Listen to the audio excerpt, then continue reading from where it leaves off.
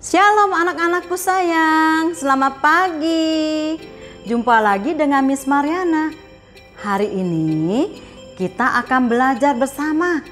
Tapi sebelumnya kita berdoa dulu ya. Kita berdoa, terima kasih Tuhan atas hari yang Tuhan berikan kepada kami. Untuk kami dapat belajar bersama teman-teman. Mampukan kami dalam pembelajaran kami hari ini. Dalam nama Tuhan Yesus kami berdoa. Amin.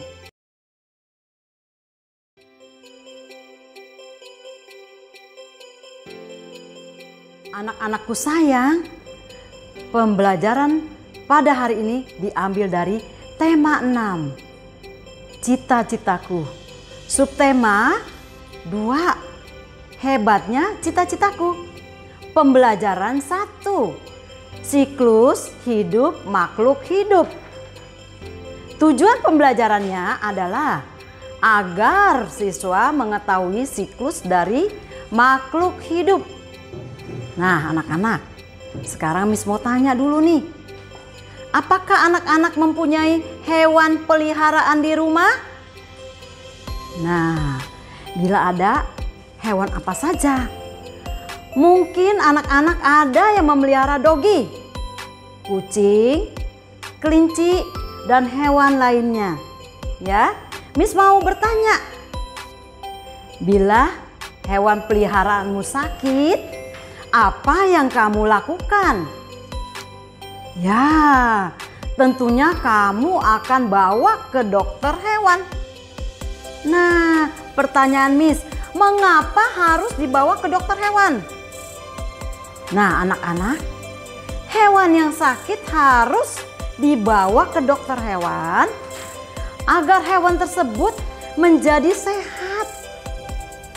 Berarti pekerjaan dokter hewan itu adalah mengobati hewan yang sakit. Nah, apakah ada anak-anak yang bercita-cita menjadi seorang dokter hewan? Ada tidak?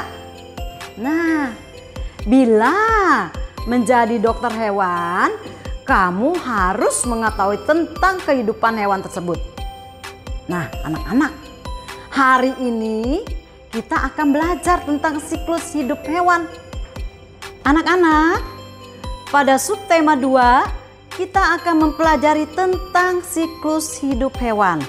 Nah, anak-anak, ada hewan yang mengalami perubahan bentuk tubuh Nama lainnya metamorfosis. Ada hewan yang tidak mengalami perubahan bentuk tubuh selama siklus hidupnya. Nah, metamorfosis pun dibedakan menjadi dua, yaitu metamorfosis sempurna dan metamorfosis tidak sempurna. Nah, anak-anak, mari kita lihat PowerPoint berikut ini. Anak-anak, kita akan melihat siklus hidup hewan. Nah, hewan itu ada yang bermetamorfosis, ada yang tidak bermetamorfosis. Nah, dari yang bermetamorfosis itu ada yang metamorfosis sempurna, ada yang metamorfosis tidak sempurna. Contohnya apa ya? Kalau yang metamorfosis sempurna itu Miss ambil tiga contoh. Mungkin masih banyak yang lain ya nak ya. Tapi Miss ambil tiga contoh yaitu kupu-kupu, nyamuk, kata. Dan yang bermetamorfosis tidak sempurna, Miss ambil dua contoh yaitu belalang dan kecoa. Nah, kalau hewan yang tidak bermetamorfosis, Miss ambil tiga contoh. Ayam, kucing, anjing. Sekarang kita akan melihat apa yang dimaksud dengan metamorfosis. Metamorfosis adalah suatu proses perkembangan biologi pada hewan yang melibatkan perubahan fisik atau struktur setelah melahirkan atau penetasan. Nah, hewan bermetamorfosis itu ada yang sempurna kan anak-anak ya.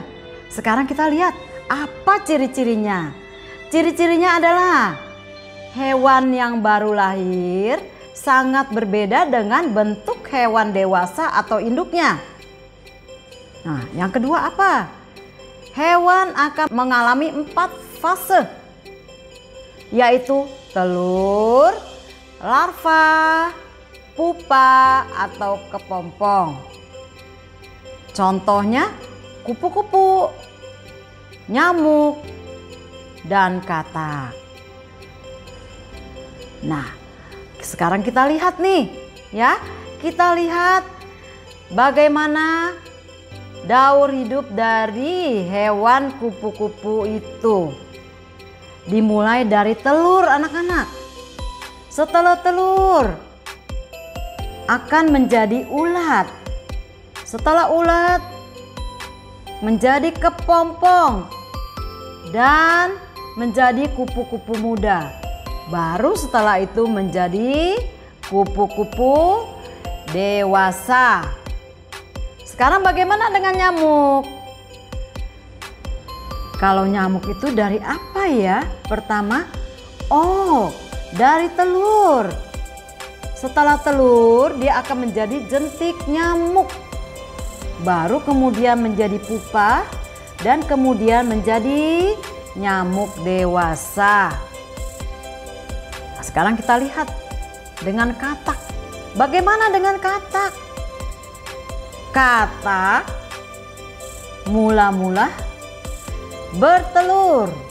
Dari telur ini akan menjadi kecebong atau berudu. Nah, setelah itu menjadi katak berekor. Dari katak berekor akan menjadi katak muda dan kemudian akhirnya akan menjadi katak dewasa. Sekarang kita akan melihat metamorfosis tidak sempurna. Apa sih metamorfosis tidak sempurna itu? Metamorfosis tidak sempurna perubahan bentuk hewan yang mengalami perkembangan dan perubahan bentuk yang tidak terlalu berbeda pada setiap tahapnya sampai menjadi dewasa. Nah, anak-anak, ada ciri-ciri dari metamorfosis tidak sempurna. Apa ya? Nah, yang ke satu, hewan yang baru lahir dan hewan dewasa atau induknya tidak terlalu berbeda. Artinya apa nih? Artinya dia tidak terlalu berbeda dengan induknya. Yang kedua, akan mengalami tiga tahap perubahan, yaitu telur, nimfa, dan hewan dewasa.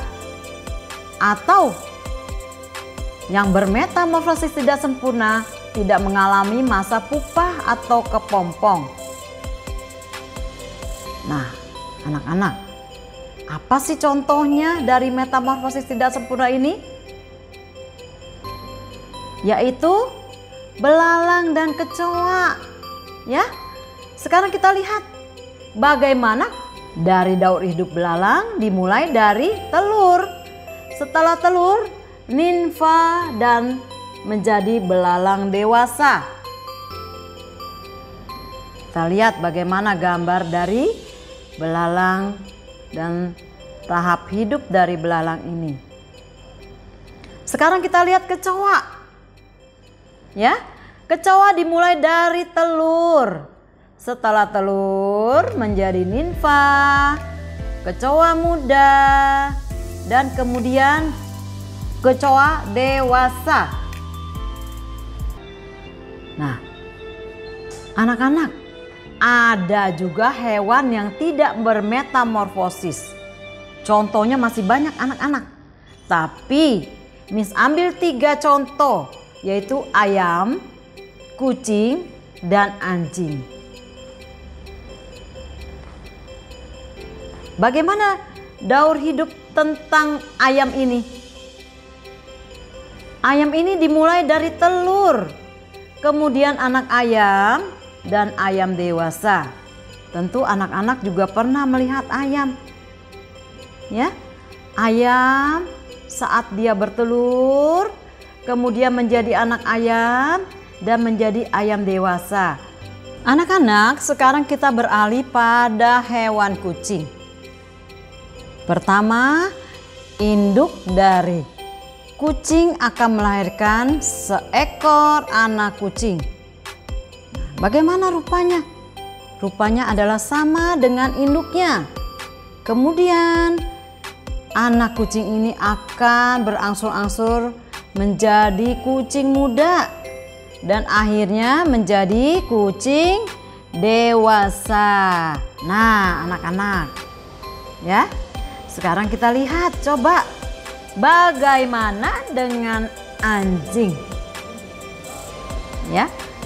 Anjing pertama kali dilahirkan oleh induknya menjadi anak anjing yang kecil. Kemudian dia akan bertumbuh bertumbuh sampai menjadi anjing dewasa. Nah, anak-anak, hari ini Miss punya lagu yang bagus sekali, yaitu lagu kupu-kupu yang lucu. Bagaimana nyanyinya? Yuk kita dengar sama-sama yuk. Kupu-kupu yang lucu.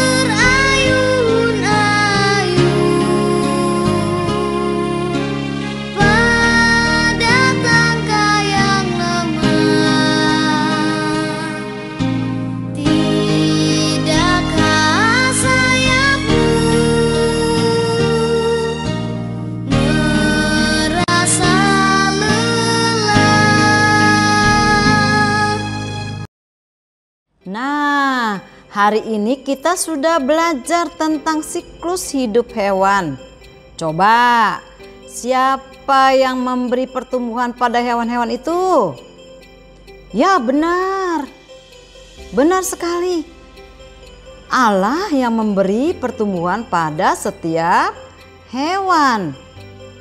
Hal ini menunjukkan bahwa Allah memelihara kehidupan setiap hewan yang Ia ciptakan.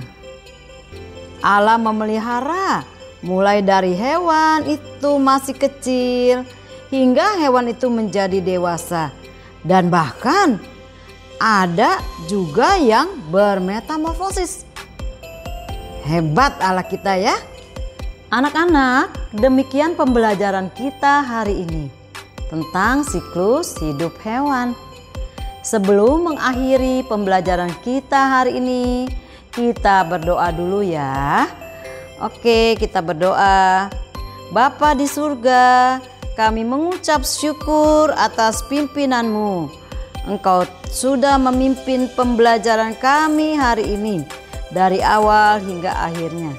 Kami serahkan cita-cita kami ke dalam tangan Tuhan untuk menjadi berkat bagi orang tua, keluarga, terutama untuk kemuliaan Tuhan. Di dalam nama Tuhan Yesus kami berdoa. Amin. Terima kasih anak-anakku sayang. Tuhan Yesus memberkati kalian dan sampai bertemu di lain kesempatan. Bye.